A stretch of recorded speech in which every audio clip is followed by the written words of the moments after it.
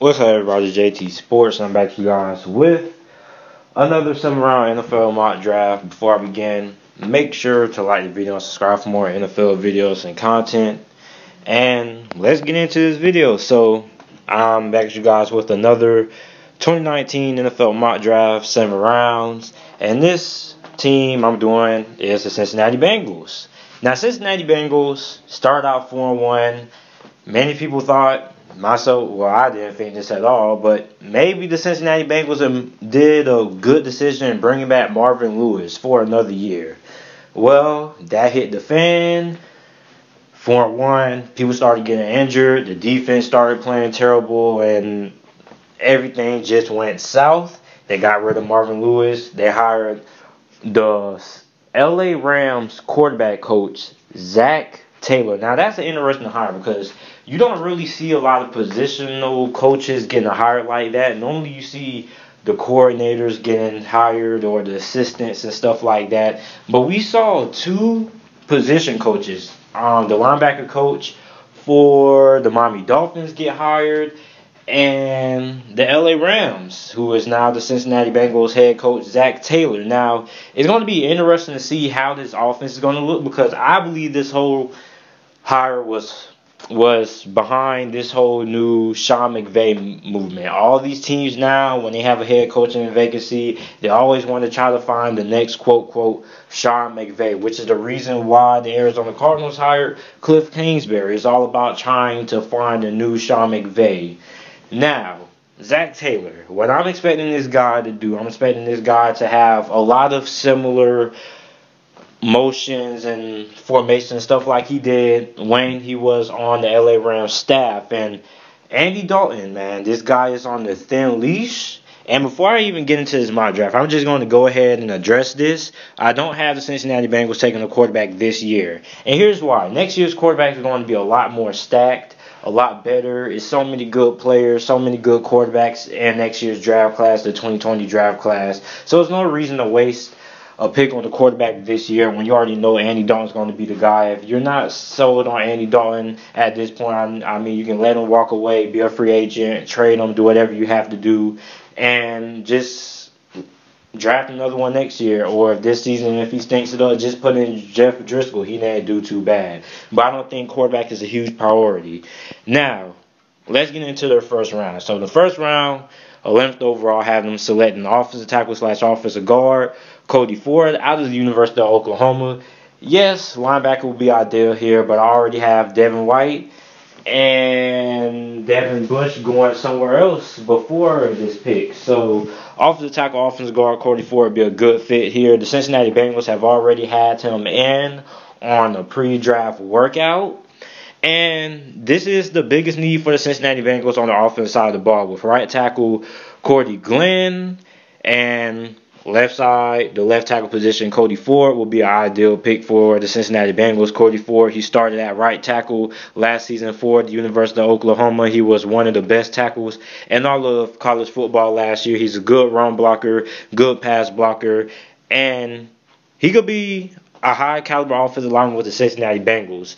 And what I love about Cody Ford is that he can play off the tackle and offensive guard. So he can switch positions wherever a team might need him to fill. Let's say this season they need him to play offensive tackle. Let's say next year they need him to play offensive guard due to injuries. He can move there, and I think he would be pretty good as well. He has the size to play both, has the speed to play both, and he's a, probably the best or the second to best offensive lineman in his draft class behind Jawaan Taylor. Some people say he's better than Jawaan Taylor, however you want to put it.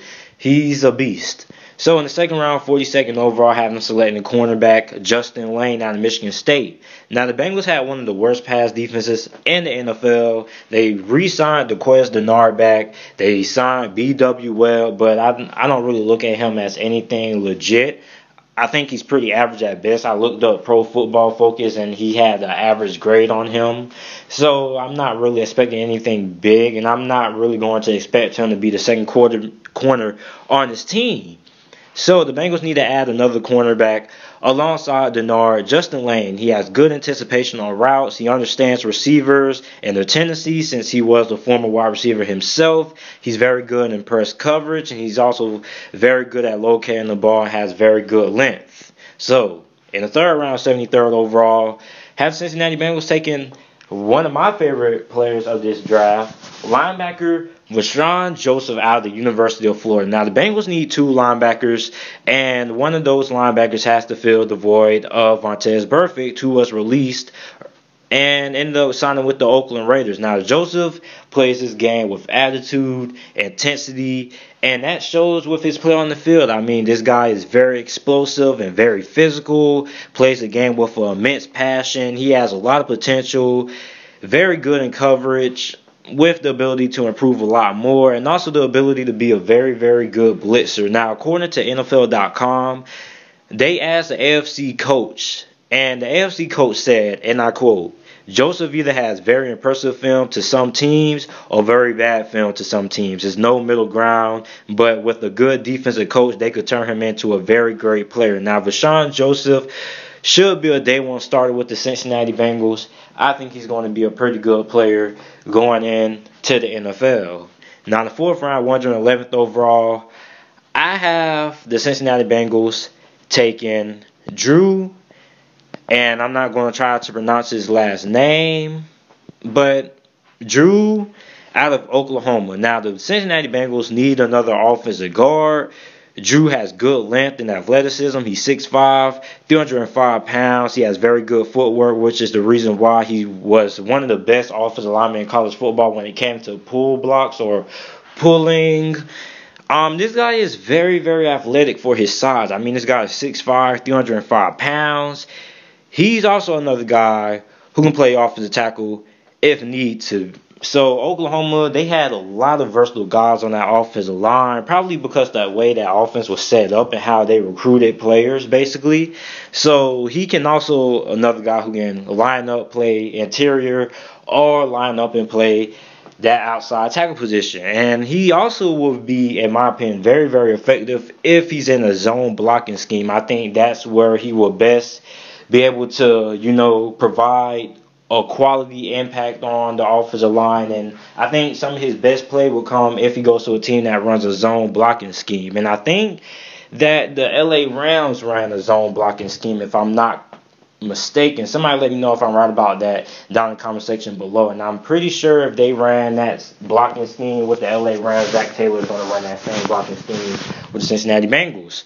Now, in the fifth round, 150th overall, have Cincinnati Bengals taking edge rusher Jordan Braff. Brailsford out of Oklahoma State. Now, the Bengals could use some added depth at the edge rush position.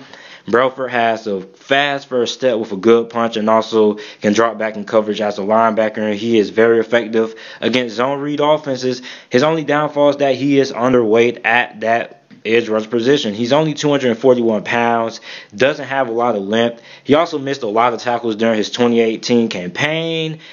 Bradford would provide good depth, and he will probably be a solid backup in the NFL. And the sixth round, Jesus, they have a bunch of them.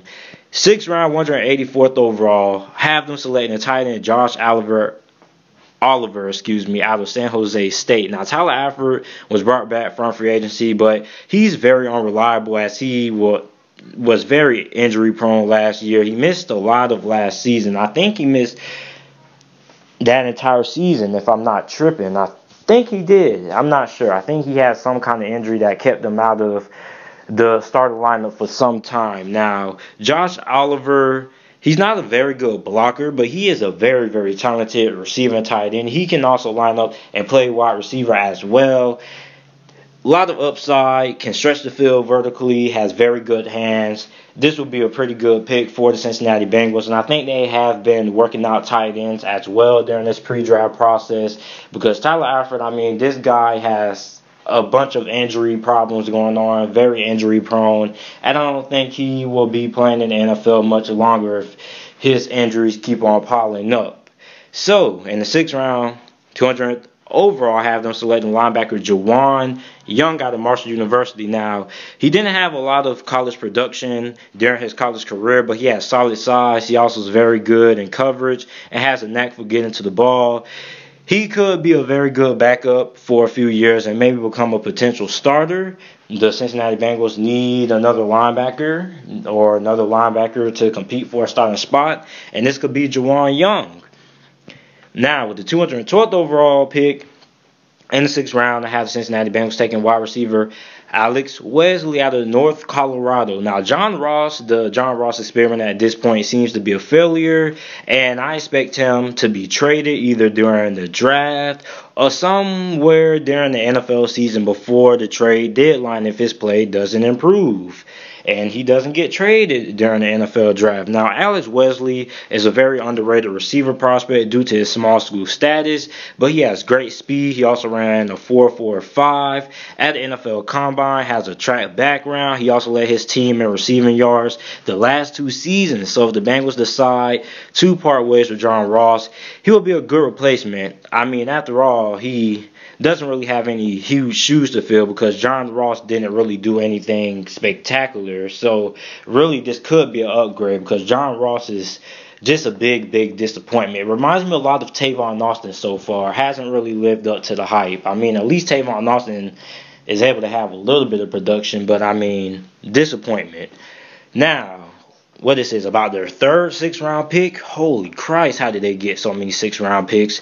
213th overall defensive tackle Ed Alexander out of LSU. Now the Bengals defensive line is solid, but they could use some more depth there. Ed Alexander would be a good fit here, especially if the Bengals decide to run a 3-4 defense this year. He's also extremely athletic and has a fast get off. Now the sixth round, their last six round pick. 215th overall, having selected wide receiver Jakobi Meyers out of NC State. Nothing wrong with drafting another wideout because, I mean, it's a need because John Ross is, well, not good. And Jakobi Meyers will provide solid depth at that wideout position.